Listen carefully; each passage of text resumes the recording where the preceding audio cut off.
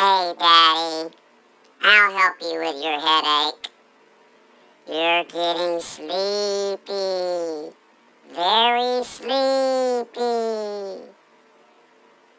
Very sleepy.